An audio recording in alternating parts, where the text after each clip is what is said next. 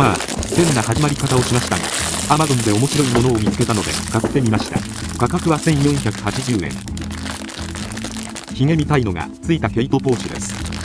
寒い日にいいけど目立ちすぎて普段使いはできそうにない。ハロウィンで使えそうですね。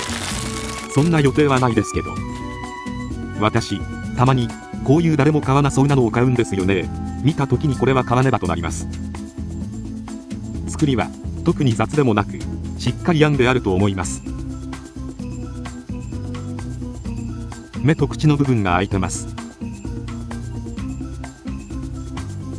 さてこれかぶって外に出かけてみましょうか。え、外に出るの？